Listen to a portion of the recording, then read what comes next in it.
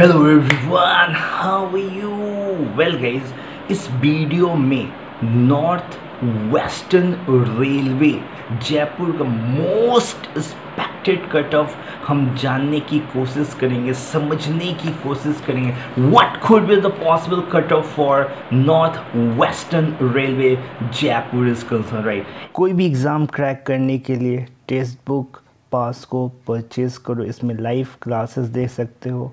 Mock test दे सकते हो। Apply करो ये coupon five V A S three के जिससे तुम्हें टेन परसेंट डिस्काउंट मिल जाएगा। एक डिटेल्ड एनालिसिस कर रखा हो। एक चीज़ों को लॉजिकली अंडरस्टैंड करके ये वीडियो बना रहा हूँ। ऐसा नहीं है कि कुछ भी शकल उठा के just for the view and all you know I am just making this video this is not the intention of this channel and this is not the intention of mind right जो ऐसा कोई भी intention नहीं है। तो एक पूरा एक लॉजिकली वीडियो बना रहा हूँ। क्या हो सकता है कट ऑफ़ क्यों हो सकता है? मैं ऐसा क्यों बोल रहा हूँ राइट इन सबको हम आज अंडरस्टैंड करने की कोशिश करेंगे। ऐसे तुम बोलोगे, यार, अभी तक तो ऑफिशियल एग्ज़ाम डेट तक भी नहीं आया और तुम मोस्ट एक्सपेक्टेड कट ऑफ़ बना रहे हो। यार, इससे पहले मैंने बहुत ही डीप एनालिसिस किया था कि एक सीट के लिए कितने बंदे फाइट करने वाले उस वीडियो को अगर तुमने नहीं देखा है तो उस वीडियो को देखो।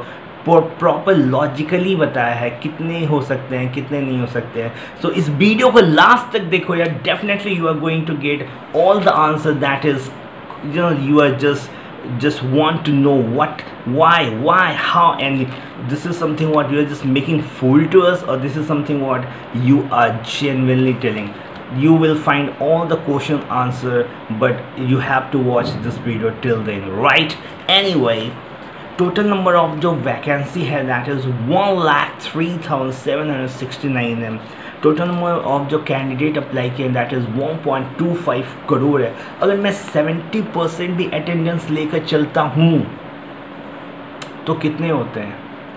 Eighty seven lakh fifty thousand student होते हैं।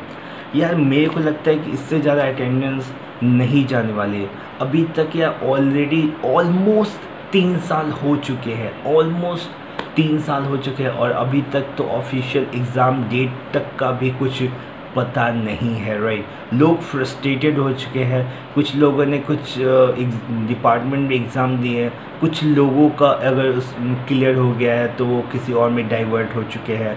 और यू you नो know, बहुत सारे लोग still still still most of the people are eagerly waiting for the R R C group D exam और एक जो मॉडिफिकेशन लिंक का भी लोचा है वो भी एक बहुत बड़ा कंसर्न है। एनी anyway, तो 87 लाख फिफ्टी थाउज़ेंड स्टूडेंट हो जाते हैं अगर 70 परसेंट स्टूडेंट भी एग्ज़ाम देते हैं right T C S exam conduct कराने वाले हैं और तुम्हें पता ही होगा हंड्रेड मार्क्स के क्वेश्चन होंगे नाइन्टी मिनट्स अलॉट होंगे और जैसे कि रीजनिंग है थर्टी मार्क्स की मैथमेटिक्स है ट्वेंटी फाइव मार्क्स की जनरल साइंस है ट्वेंटी फाइव मार्क्स की and current affair and general awareness at twenty marks का राइट ये तो सी बी टी वन है ना, और सी बी टी वन से ही तो मेरिट भी बनती है। स्टेज तो में पता ही होगा यार बॉयज़ के लिए पैंतीस के जी उठाकर, सौ मीटर दो मिनट में कंप्लीट करने एंड एक हज़ार मीटर चार मिनट पंद्रह सेकेंड में दौड़ने में सक्षम होना चाहिए। गर्ल्स की अगर बात करें तो यार,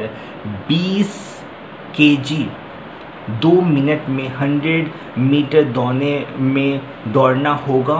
एंड एंड रेलवे ने लिखा है शुड बी एबल टू मतलब एक हज़ार मीटर पाँच मिनट चालीस सेकेंड में दौड़ने में भी सक्षम होना चाहिए। उसके बाद पता ही होगा यार मेडिकल होता है document verification then joining letter the know this takes time this takes time ये तो तुम्हें पता ही होगा यार कि रेलवे एस कुछ हमारे जो ऑर्गेनाइजेशन हैं, जो हमारे टाइम को बहुत ज़्यादा बर्बाद करते हैं। Anyway let's talk about it north western railway Jaipur की बात करते हैं यार। यहाँ पे nine lakh sixty one thousand twenty seven students ने फॉर्म भरा है और यहाँ पे जो टोटल पोस्ट है that is five thousand two hundred 49 है और एक पोस्ट के लिए 183 स्टूडेंट्स फाइट करने वाले हैं। यार 183 तो तब फाइट करेंगे ना जब 100 परसेंट अटेंडेंस होगा। मैं तो यहाँ बात ही कर रहा हूँ 70 परसेंट अटेंडेंस का और इससे ज़्यादा देखना तुम कहीं भी अटेंडेंस ज़्यादा नहीं जाएगा। एनी anyway, तो यार समझ लो यार डेढ़ सौ तक में डेढ़ सौ तक बच्चे एक सीट के लिए फ़ाइट करेंगे।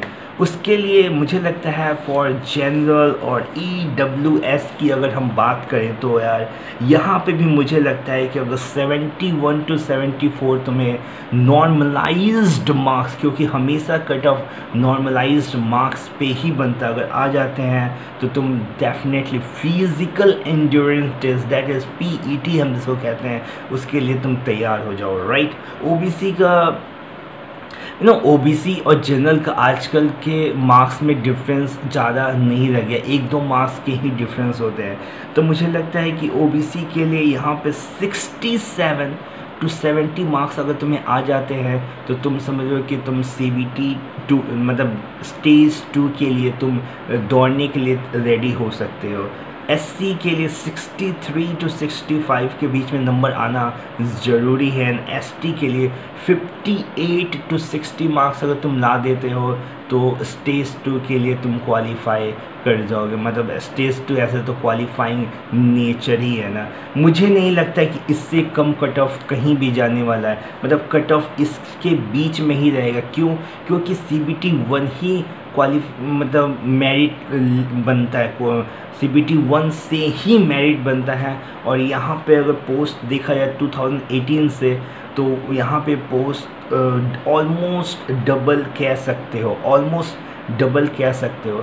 तो मतलब कि अब ऐसा नहीं है कि जैसे मैंने देखा था कि कोलकाता में 80 चला गया था। 80 विट्टी इस बार नहीं जाने वाला है। यार ऑलरेडी दो, जैसे मैंने बोला, तीन साल भी बीत चुके हैं तो लोग फ्रस्ट्रेट भी हो जाए और कोरोना भी एक बहुत बड़ा फैक्टर है। तो अटेंडेंस पे फ़र्क तो पड़ेगा ही। इतना अगर आ जाता है ना तो तुम समझ लो स्टेज टू के लिए तो तुम डेफिनेटली तुम जा सकते हो और मोस्ट प्रोबेबली तुम्हें जॉब भी मिल जाएगी right so this is me signing off from this video have a great day अच्छा लगा है तो यार कमेंट करो subscribe this channel share this video like this video और दूसरे के साथ भी शेयर करो जिससे कि दूसरों को भी पता चले जाए कि हाँ एक रियल जेनविन ऑथेंटिक एक सही इन्फॉर्मेशन इस चैनल पे मिलता है right have a great day.